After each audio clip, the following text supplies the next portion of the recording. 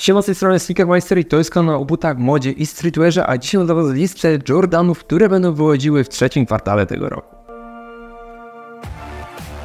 Trzeci kwartał już zaczął się dosyć dawno temu, ale nie mieliśmy aż tak dużo premier Jordanów, które troszeczkę przegapiłem, ale postaram się dzisiaj pokazać w odcinku wszystkie te, które jeszcze przed nami, ponieważ Jordan Brand dzieli sobie cały rok na kwartały i ten, który aktualnie mamy, to ten zwany jesienny. I to jest dosyć dziwne, bo on się kończy powiedzmy w okolicach września, ale mniej więcej tak to się układa i dzisiaj pokażę Wam wszystkie pary, które będą wychodziły do końca września, a jest ich naprawdę dużo.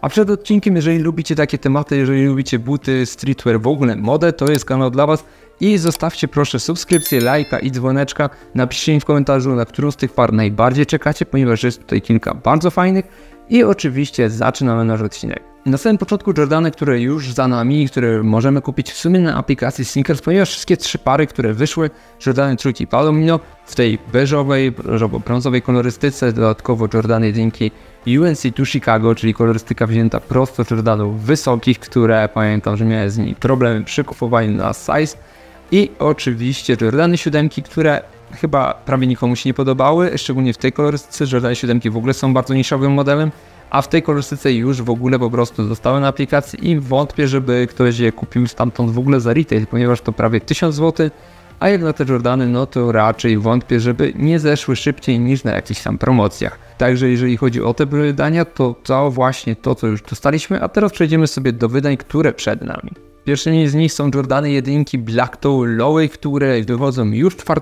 sierpnia, czyli albo jeżeli to oglądasz trochę później, no to już wyszły, albo jeszcze jesteś dokładnie przed drapem tych butów.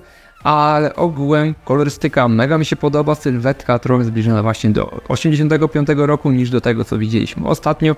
Bardzo ładne wydanie, pasujące do wielu rzeczy, ponieważ same Black Toe no, jest jednym z najpopularniejszych kolorystyk w ogóle Jordanów a tutaj w tym wydaniu na lołach wygląda według mnie superowo i szczerze zastanawiam się, czy sobie ich nie sprawić, ponieważ ja nie mam w kolekcji żadnych Jordanów jednych lowów, ponieważ jeżeli kupuję coś w wersji low, to są to raczej danki. Tak jak w większości osób, jeżeli ktoś kupuje, nie wiem, Jordany, jeżeli ktoś kupuje wysokie buty, to raczej Jordany jedynki wysokie, a jeżeli chodzi o danki, no to danki lowy i w ogóle jeżeli chodzi o niskie buty, no to danki jest lowy najlepsza opcja według mnie.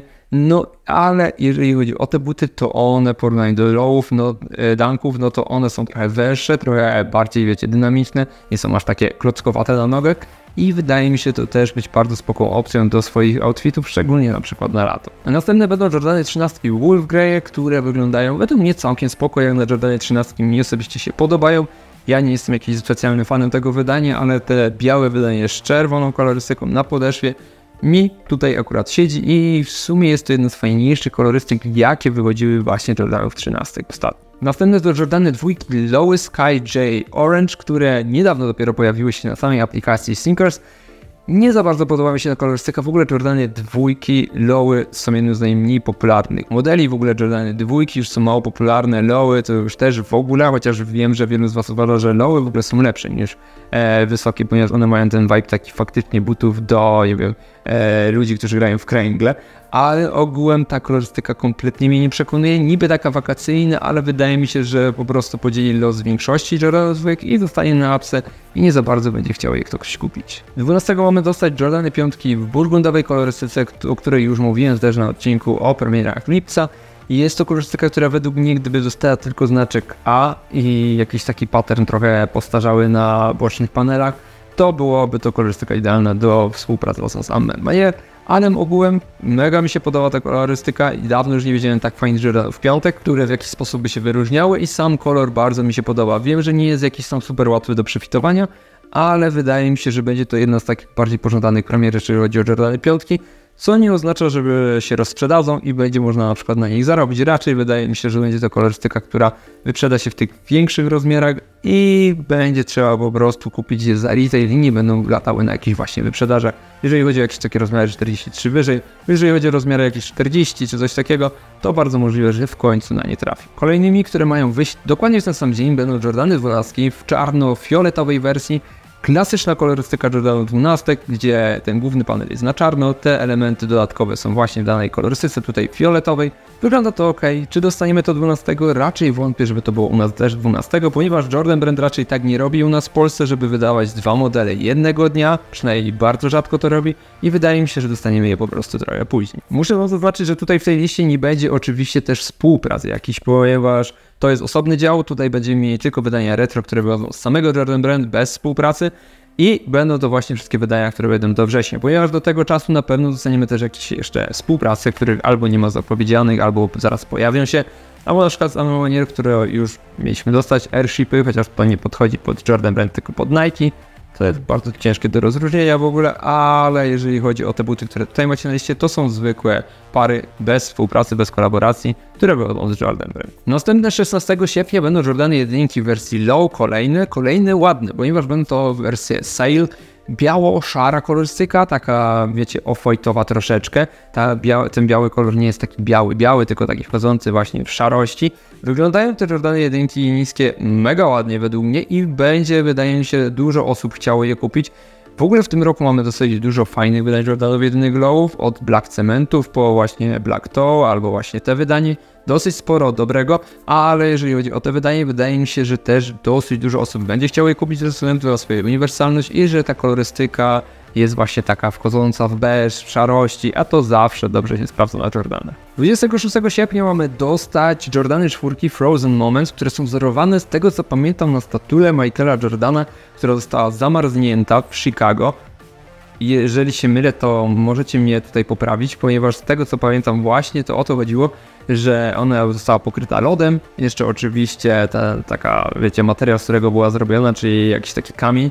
I to zostało przeniesione właśnie na tą parkę. Wygląda to całkiem spoko. Nie jest to według mnie jakaś super najlepsza kolorystyka, ale jeżeli faktycznie tak jest, jak mówię, no to jest to bardzo fajne nawiązanie i zawsze w świecie sneakerheadów, no takie smaczki robią dosyć, dosyć duże wrażenie i wydaje mi się, że ta para akurat się rozprzeda, ponieważ Jordany czwórki takich szarych, jakichś szaro-białych kolorystykach bardzo fajnie chodzą na rynku i dużo, dosyć dużo osób będzie chciało je kupić do chodzenia na co dzień. 31 sierpnia dostaniemy kolejne Jordany dwójki wysokie, tym razem w soft pink kolorystyce, która wchodzi właśnie w ten różowy. Wydaje mi się, że to będzie wydaje kompletnie zapomnienia i na, szczególnie na naszym rynku kompletnie sobie nie poradzi. Za to 2 września wyjdą Jordany, które chyba są najlepsze z tych wszystkich, które tutaj wychodzą. Jeżeli chodzi o takie popularność powiedzmy i to jak dużej ilości osób się podobają, są to Jordany jedynki wysokie palomino, które są w kolorystyce takiej ciemnego brązu razem z czarnym w połączeniu i wszystko co psuje ten klimat według mnie to ten język żółty. Nie wiem kto to wymyślił, wygląda to według mnie bardzo źle. Jeżeli on był jeszcze zrobiony jakiś czarny, wydaje mi się, że bardzo dużo osób będzie go przemalowywało na czarny. Będą te buty wyglądały po prostu super i będą nawiązywały do takich wydań jak na przykład Dark Mokka albo Jordan 1 razem z Travisem Scottem i na pewno to wydanie będzie bardzo popularne, bardzo dużo osób będzie chciało je kupić i wydaje mi się, że też będzie ich bardzo, bardzo dużo, ponieważ y, Jordan Brand widzi, jak dużo jest zainteresowania na taką parkę, no to zrobi ich po prostu więcej. 9 września dostaniemy Jordany 4 Red Cementy, które wyglądają też bardzo ładnie. Oczywiście taka klasyczna kolorystyka na Jordanach 4, którą widzimy bardzo często, biała całość buta z elementami danej kolorystyki. No to jest coś po prostu klasycznego już od kilku lat, co widzimy, że Jordan Brand praktycznie kultywuje co roku, dostajemy jakieś wydania takie jak Midnight Navy, jak na przykład, nie wiem, Oil Green i tak dalej, które dokładnie w ten sam sposób wyglądają. Tutaj red cementy według mnie też będą bardzo popularne, bardzo dużo osób będzie chciało je kupić i wydaje mi się, że w tych dużych rozmiarach na początku będą wczytywały się w granicach retailu, ale potem będzie się ta cena trochę zwiększała. 13 września dostaniemy pralinki, Jordany jedynki wysokie pralinki, które wydaje mi się, że nie będą miały aż takiego wzięcia. Jakoś nie przemawia do mnie ta kolorystyka, jestem ciekawy jak to będzie wyglądało gdzieś tam bliżej premiery, ale te kolorki na Jordan 1 jakoś nie za bardzo mi się podobają i jestem ciekawy jak to będzie przyjęte przez większych ludzi, ponieważ na razie nie mamy jakichś tam super zdjęć takich, wiecie, dokładnych jak ma mniej więcej to wyglądać na nogach. Im bliżej premiery, tym więcej będziemy mieli jakiś fotek on fit i wydaje mi się, że raczej te buty nie zrobią jakiejś większej furory i będą z tych Jordanów jedynych wysokich, które będą siedziały na półkach. 23 września będziemy mieli premiery Jordanów dwóje, które mi na tej liście chyba najbardziej się podobają. W ogóle z wszystkich Jordanów, które będą wychodziły.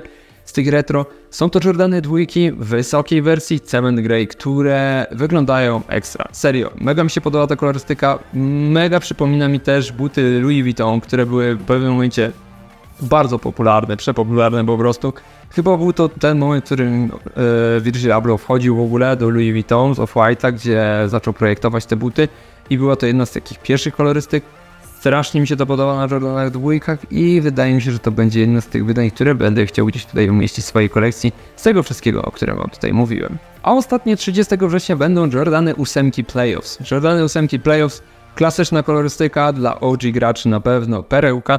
Jordany 8 Playoffs to ta para, która gdzieś się tam przez lata przebija raczej w świecie streetwearowym, w świecie sneakerheadów, ale mi osobiście nie za bardzo się podoba, a sam model, sama sylwetka mega mi siedzi. Według mnie Jordany 8 są to jedne z najfajniejszych Jordanów, jakie wyszły w ogóle z tych pierwszych. Mega mi się podobają też te rzepy na boki zaczepione i jeżeli ktoś je dobrze zrobi, tak jak na przykład z Rui Hachimurą, no to wyglądają przepięknie. Tutaj wyglądają po prostu ok, bardzo uniwersalnie, bardzo zwyczajnie i wydaje mi się, że to w Polsce też nie będzie model, który zrobi jakąś tam większą furorę i nie będzie zbyt dużo chętnych na niego. Także to wszystkie Jordany, jakie będą wychodziły do końca września. Mam nadzieję, że Wam się podobało. Jestem bardzo ciekawy, na które Wy najbardziej czekacie. Wydaje mi się, że będą to na pewno albo Jordany jedynki Palomino, albo Jordany czwórki Frozen, które no chyba najbardziej się gdzieś tam przebijają, ale jestem ciekawy, czy może tutaj ktoś inny znalazł coś dla siebie, także dajcie mi znać w komentarzu i widzimy się w następnych odcinkach. Cześć!